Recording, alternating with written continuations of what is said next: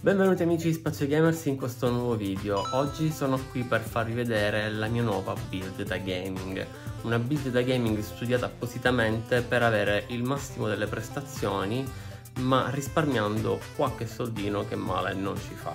Ebbene, perché se è vero che potete acquistare schede video come una 4090 per avere un numero spropositato di FPS, eh, è anche vero che spendendo molto meno potete ottenere comunque ottimi risultati che non vi faranno diciamo rimpiangere poi così tanto una 4090 perché dopo un certo numero di fps l'occhio umano non nota più le differenze ma al contempo potrete salvare un, buona parte dei vostri risparmi quindi la build che vi farò vedere che io ho assemblato per me è una build che consiglio caldamente a tutti quelli che vogliono giocare al top e quindi avere dettagli ultra sia in 2K sia in Full HD quindi questa build sicuramente non è dedicata a coloro che cercano un PC per giocare in 4K e vi farò vedere come con pochi piccoli accorgimenti potrete ottenere un'ottima macchina dalle prestazioni veramente al top spendendo realmente poco o comunque cifre molto più contenute rispetto a tante altre build che vi vengono consigliate eh, su altri canali. Ma prima di andare a vedere nel dettaglio tutti i componenti di questa build, vi ricordo di lasciare un like di iscrivervi al canale se ancora non l'avete fatto e di condividere questo video con i vostri amici. Detto ciò, io lancio subito la sigla, dopodiché andiamo a vedere le componenti con le quali abbiamo assemblato questo PC che vedete alla mia destra e vi lascio poi sotto nei link, i link in descrizione di Amazon per poterli acquistare. Sigla!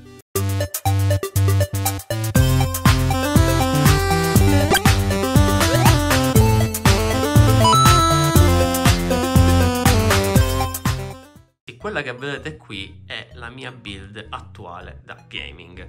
Come vedete è un mix di pezzi tra virgolette riciclati e pezzi e componenti nuovi. Quello che vedete qui alla mia sinistra è il mio vecchio monitor 27 eh, pollici a 60 Hz della AOC che ho acquistato circa 6-7 anni fa, forse anche 8 che come vedete eh, ha una bella differenza rispetto a questo IPS, attenzione questo è pure un IPS, eh? questo IPS dell'LG Ultra Gear acquistato da poco per la Games Week su Amazon a 279 euro in sconto, ottimo affare, quindi se lo trovate a questo prezzo io vi consiglio di prenderlo al volo, ma anche 3,79 che era il prezzo originario comunque è un ottimo prezzo, parliamo di un monitor 2K, 27 pollici IPS, con un refresh rate di 165 Hz compatibile con il G-Sync di Nvidia, vedete c'è pure l'adesivo qua in basso, lo faccio vedere, e anche con la controparte di AMD. Eh, il monitor supporta HDR10 e che dirvi ragazzi, è uno spettacolo. Cioè veramente per me è stato un salto di qualità pazzesco. Come vedete il vecchio monitor l'ho messo come monitor secondario lo utilizzerò per quando faccio streaming e questo lo uso per i giochi. Vi faccio vedere la differenza a livello di densità di pixel. Cioè qui come vedete si nota tantissimo la, insomma il fatto che i pixel comunque si vedano mentre qui non li vedete proprio cioè fantastico. Quindi eh, anche per questo io vi consiglio di restare sul 24 pollici se decidete di prendere un monitor full HD perché altrimenti avete questo, quest, insomma, questa densità scarsetta di pixel e di non andare oltre i 27 pollici se scegliete un 2K quindi rischiate di avere un effetto simile a quello che avete visto a sinistra su monitor 2K che vanno dai 32-34 pollici e così via Uh, qualcuno è soddisfatto comunque dei 2K a 32 pollici, ma io personalmente ve li sconsiglio, restate sui 27. Detto ciò, passiamo al pezzo forte.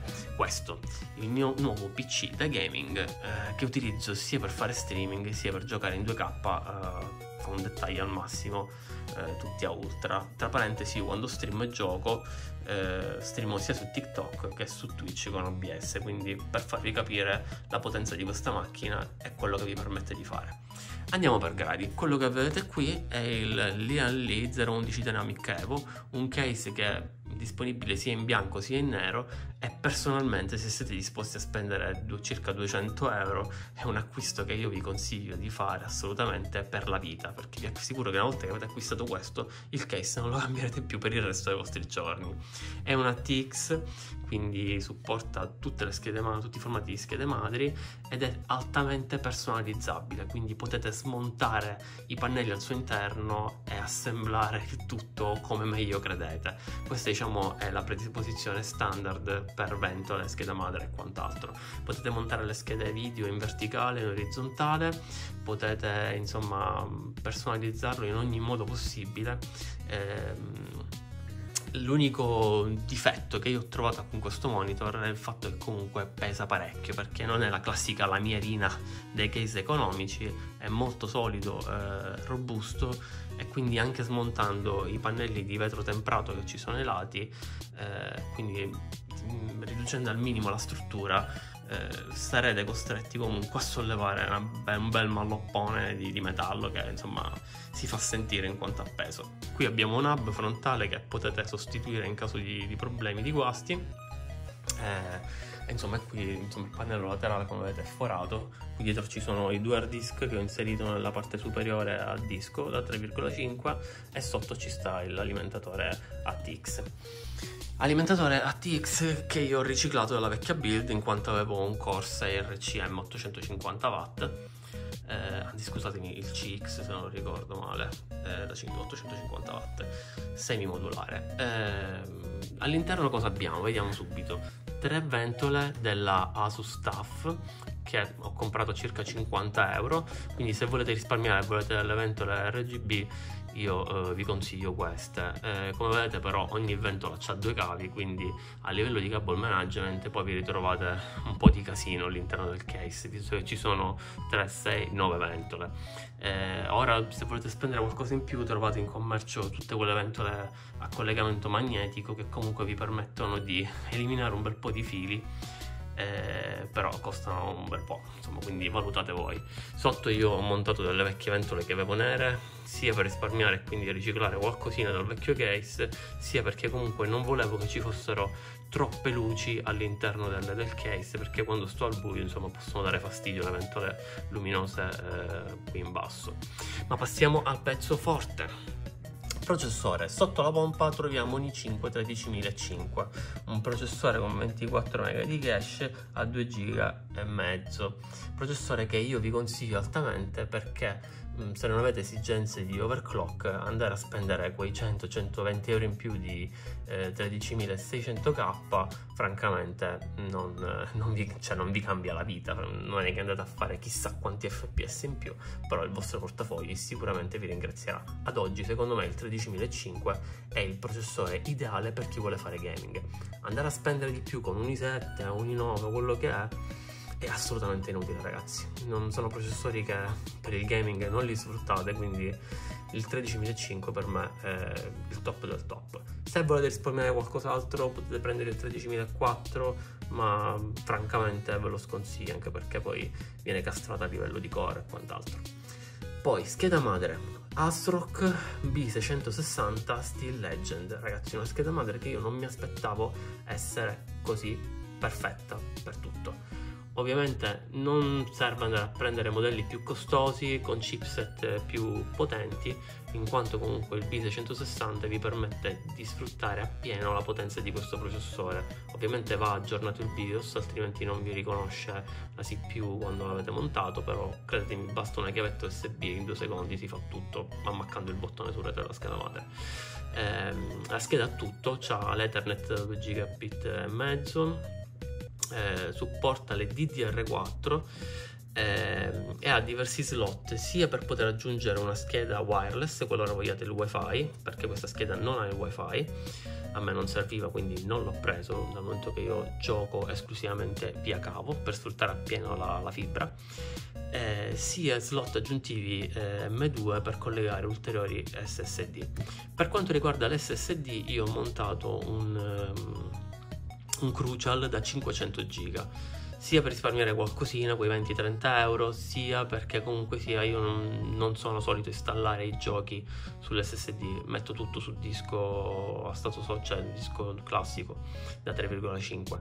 Ehm, quindi materialmente per me 500 giga bastano e avanzano per mettere programmi di sistema operativo e raramente qualche gioco eh, online che mi serve che abbia caricamenti veloci. Passiamo alle DDR. Abbiamo delle Vengeance della Corsair a 3600 MHz DDR4 eh, con impianto RGB. Chiaramente se non le prendete RGB risparmiate ulteriormente qualcosa, ma mi piaceva fare l'arlecchinata qui e ho voluto spendere quei 20 euro in più per avere i LED. Queste in, con il profilo XMP eh, riescono ad arrivare credo a 4 GHz in overclock eh, quindi sono delle belle RAM. Perché non prendere DDR5? Sia per risparmiare, perché già andate a risparmiare sia sul costo della RAM sia sul costo della scheda madre. E poi anche perché le DDR5 materialmente, se potete andarvi a cercare una serie di test che ci sono online, a parte farvi spendere molto di più, non vi danno nessun vantaggio, in quanto eh, gli FPS che generano i giochi sono esattamente gli stessi delle DDR4, quindi non c'è un vantaggio eh, dimostrato nel gaming. Ergo, guardate al portafogli, prendete DDR4 andate a risparmiare parecchio sia sulla scheda madre che sulle RAM. Detto ciò, passiamo al pezzo forte, poi qua abbiamo questo bellissimo radiatore della Enermax, il Liquimax 3 eh, se non ricordo male, aspetta che guardo, no, Liquimax 3 sì, bianco RGB da 360 mm, con ventole come vedete sempre RGB, è una pompa che credetemi è silenziosissima, non si sente, temperatura al top, eh, il processore non supera mai 30 gradi neanche quando sto giocando in 2K con tutto al massimo. Eh, che dirvi, cioè, è una bellezza. Con poco più di 100 euro vi portate un, un prodotto ottimo con un'ottima qualità, con un ottimo rapporto qualità-prezzo. Quindi detto ciò, ragazzi, poi cosa abbiamo? Eh, niente, vi ho detto praticamente tutto. Fate conto che le ventole costano una cinquantina di euro, il radiatore un centinaio, il processore intorno ai 250, ma credo che adesso si trovi a qualcosina in meno. La scheda madre io l'ho presa a 160 euro, non so se è salita o è diminuita. Eh, la scheda video, ecco, io ho riciclato la mia mm, GTX 1080 al momento che al contrario di quanto dicono in molti mi ha permesso di giocare fino a poche ore fa a Death Stranding con HDR attivo e tutti i dettagli a ultra stando sopra gli 80 fps con il monitor a 2K eh, quindi mm, ho provato anche altri giochi e devo dire che nonostante sia una scheda di qualche anno fa si difende egregiamente. Sicuramente prossimamente la cambierò con una 4070 ma eh, se volete giocare in Full HD o anche in 2K volete risparmiare qualcosa potete optare anche per una 4060 Ti. Eh, se poi non vi interessa il ray tracing potete buttarvi sulle controparti AMD che vi fanno risparmiare ulteriormente un paio di centinaia di euro probabilmente eh, quindi potete prendere la 6650, la nuova serie 7000, insomma tutta quella fascia lì entry level di cui avrete sicuramente sentito parlare abbondantemente in questi giorni su altri canali YouTube. Eh, detto ciò ragazzi che dire, io poi qua ho la mia tastiera cinese della OK, questa non si trova più su Amazon, che devo dire che per quanto fosse costata 40 euro si comporta abbastanza bene, l'unico difetto sono questi led che non si possono cambiare di colore, ma vabbè. E poi questo, il mio gioiellino, il Red Dragon, eh, M711 se non ricordo male, di cui ho fatto una recensione tempo fa sul mio canale, potete andarvela a vedere, che è un ottimo mouse da gaming con un rapporto qualità-prezzo fantastico, eh, delle componenti al pari dei più blasonati Logitech e quant'altro abbiamo insomma nel mercato. Detto ciò, ragazzi, io che dire, aspettate questa da basso, vi faccio rivedere la carrellata della postazione. Non vi accendo i led che ho dietro la scrivania perché dovrei fare un casino. Eh, con questo pc giocate a tutto quindi in 2k dettaglia ultra ma anche in full hd con dettaglia ultra.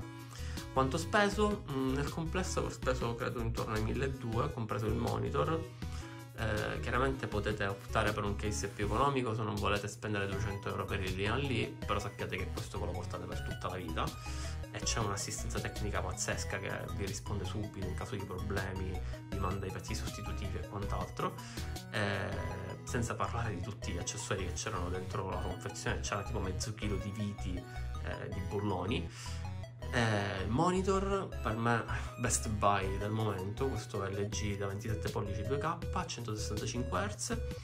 Eh, poi che dire, il resto io ve l'ho detto, optate per questo processore, questo è RAM, magari non, volete, potete risparmiare sempre prendendo il modello non, insomma, non a LED. Eh, ma per il resto ragazzi andare a spendere di più in questo momento siamo a giugno 2023 e andare a spendere eh, per un i7, un i9 oppure un i5 eh, versione K 13600 quello che è non ha assolutamente senso. Spendete di più e francamente non è giovate a livello di gaming. Se poi siete persone che ci fanno, eh, non so, video editing spinto, rendering e quant'altro, allora è un altro discorso, o fate delle elaborazioni particolari col vostro PC, ma il gaming non va a sfruttare eh, in maniera eh, egregia come dovrebbe determinate componenti che costano un occhio della testa. Quindi fatemi sapere un po' che ne pensate di questa build, cosa ve ne pare. Eh, andare a spendere di meno secondo me non vale la pena. Eh, attualmente queste secondo me sono le migliori componenti che potete acquistare per un PC che vi portate per almeno 4-5 anni, se non addirittura di più. Quindi vi lascio tutti i link sotto in descrizione per l'acquisto, in maniera tale che possiate comprarli e assemblarli al meglio. Fatemi sapere se acquistate questa configurazione cosa ve ne pare. Io vi saluto e ci vediamo al prossimo video. Ciao!